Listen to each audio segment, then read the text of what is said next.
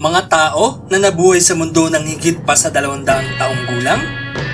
Ang lahat ng mga pinakalumang tao sa Biblia ay mula sa aklat ng Genesis at nagmula kay Adan. Ang sampung kalalakihan na ito ay nakilala bilang antediluvian patriarchs dahil nabuhay sila bago ang matinding pagbaha. Lahat sila ay nabuhay ng hindi kapanipaniwalang edad. Ang karamihan sa kanila ay namatay nang sila ay nakaabot na sa siyam na raang taong gulang. Dahil sa kanilang matagal na lifespans, marami sa mga kalalakihan na ito ay naabutan pa ng kanilang mga kaapu-apuhan. Bago tayo magsimula, mga kabayan, shoutout ko muna si Chemaru Juan Maghinay. Isang matinding shoutout sa iyo, Chemaru Juan Maghinay. At maraming salamat sa panonood ng mga videos ko. Nakakataba ng puso kapag nakita ko na kahit papano ay mayroong nanonood ng mga pinaghirapan ko ng videos. Kaya, simulan na natin. Kabayan, welcome sa On Top Videos. Kung gusto mo ang mga ganitong topic, ay huwag ka nang magkatubiling mag-subscribe sa aking channel at pindutin ang bell para lagi kang updated sa mga susunod ko pang videos. Salamat!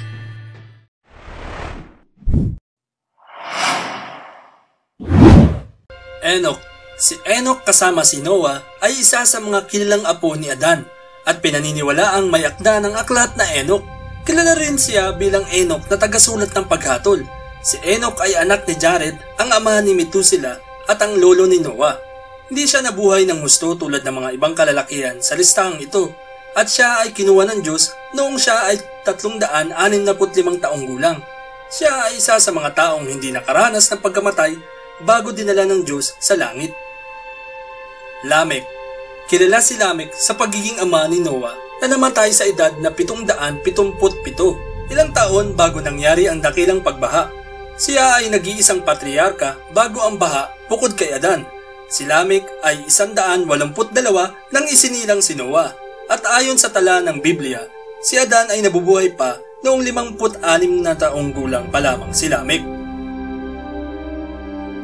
Mahalalel Nabanggit ng walong beses si Mahalalel sa buong Biblia, karamihan sa aklat ng Genesis bilang bahagi ng angkan ni Adan at Eva. Sa bersyon ni King James ng Bagong Tipan, ang kanyang pangalan ay nabaybay bilang Male Leel. Isa siya sa mga apo ni Adan na nabuhay ng daang-daang taon. Namatay si Mahalalel noong siya ay 875 taong gulang. Si Mahalalel ay ipinanganak ni Kenan noong ito ay 70 taong gulang. Enos Si Enos o Enos ay apo ni Adan at ang unang anak ni Seth. Ayon sa aklat ng Genesis, si Seth ay isang daan at limang taong gulang nang isinilang si Enos. Sinasabi ng Biblia na si Enos ay siyam na poong taong gulang nang isinilang ang kanyang unang anak na si Kenan. Nabuhay siya ng siyam na raan at limang taong gulang at isa sa mga kapanahon ni Noah sa loob ng 84 na taon. Ayon sa banal na kasulatang Mormon, Si Enos ay inorden sa pagkapari nang siya ay isang daan 34 na taong gulang. Kenan Si Kenan ay isa pang apo ni Adan dahil siya ang apo ni Seth at anak ni Enos. Ayon sa Book of Jubilees, kung minsan ay tinatawag na Lesser Genesis, ang ina ni Kenan ay si Noam, ang asawa at kapatid ni Enos. Ang kanyang asawa ay si Mualelet na kapatid din niya. Tulad ng ilan sa iba pang mga kalalakihan sa listang ito, nabuhay si Kenan bago ang dakilang pagbaha at namatay nang siya ay mahigit na siyam na raang taong gulang. Seth Si Seth ay ang ikatlong anak ni Adan at Eva na ipinanganak pagkatapos ng pagpatay sa kanyang kapatid na si Abel. Siya ang unang anak na lalaki sa linya ng mga kaanak ni Adan at Eva na humantong sa pagsilang ni Noah. Si Seth at ang kanyang mga kapatid na sina Cain at Abel ay nag-iisang anak ni Adan at Eva na pinangalanan sa Biblia. Ayon sa kanyang kwento sa Genesis, ipinanganak si Seth nang si Adan ay isang daan tatlumpung taong gulang at naniniwala si Eva na inilaan ng Diyos na si Seth ay maging kapalit ni Abel. Si Seth ay ginagalang sa tradisyon ng Hudyo at Islam bilang pagiging matuwid na anak ni Adan at Eva.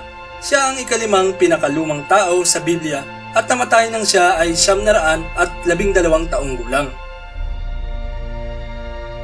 Adan Si Adan ay pinakamahusay na kilala bilang ang unang tao na nilikha ng Diyos sa Biblia at ang kanyang pangalan ay ginamit bilang salita para sa tao o sangkatauhan sa aklat ng Genesis. Ang kwento ni Adan at Eva at ang pagbagsak nila mula sa hardin ng Eden ay malawak na kilala.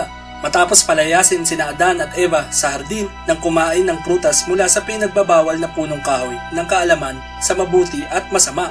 Mayroon silang dalawang anak na sina Cain at Abel at ang unang kwento ng pagpatay ay sinabi sa Genesis. Pagkatapos ay mayroon silang isang pangatlong anak na lalaki na si Seth.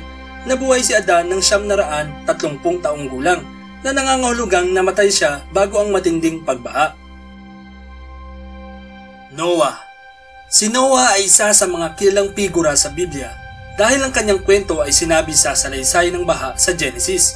Karamihan sa mga tao ay marahil ay pamilyar sa mga pangunahing kaalaman sa kwento ng arko ni Noah na nagsasabing binaha ng Diyos ang lupa upang hugasan ang mga pagkakamali ng tao at muling itayo ang mundo kasama ang mga hayop at si Noah at ang kanyang pamilya sakay ng arko. Si Noah ay isa pang direktang apo ni na Adan at Eva at isa sa mga kalalakihan sa Biblia na nabuhay ng mahigit na siyam na raang taong gulang. Anak siya ni Lamech, apo ni Metusela, at nang siya ay limang daang taong gulang, naging anak ni Noah sina Sem, Ham at Japet. Jared Si Jared ang pangalawang pinakamatandang tao sa Biblia at isa pang anim na henerasyon na apo ni na Adan at Eva. Ang kanyang ama ay si Mahalalel at kahit na mayroon siyang ibang mga anak na lalaki at babae, isa lamang sa kanila si Enoch na pinangalanan sa Biblia. Na ginagawang si Jared na lolo ni Metusela, si Jared ay isang daan anim na dalawang taong gulang nang ipinanganak si Enoch at siya ay nabuhay ng may siyam na raan anim na dalawa taong gulang. Metusela Ayon sa Biblia, si Methuselah ay ang pinakamahabang nabuhay na tao dahil namatay siya sa edad na siyam na raan, alinaputsyam taong gulang. Nabanggit siya sa Book of Genesis bilang anak ni Enoch at ama ni Lamech at lolo ni Noah. Ang kanyang kwento sa Biblia ay makabuluhan dahil siya ay isang bahagi ng tala ng angkan na nag-uugnay kay Adan at Noah. Sa karamihan ng bersyon ng Biblia, Si Metusela ay halos dalawang daang taong gulang nang ang kanyang anak na si Lamech ay ipinanganak at namatay pagkatapos ng baha mula sa kwento ni Noah. Dahil sa kanyang katandaan, ang Metusela ay naging isang bahagi ng tanyag na kultura at ang kanyang pangalan ay karaniwang ginagamit kapag tinutukoy ang edad ng mga tao o mga bagay. Kabayan, nagustuhan mo ba ang video natin today? Please like, subscribe, at hit the bell notification para ma-notify ka kung may bago tayong upload. Salamat!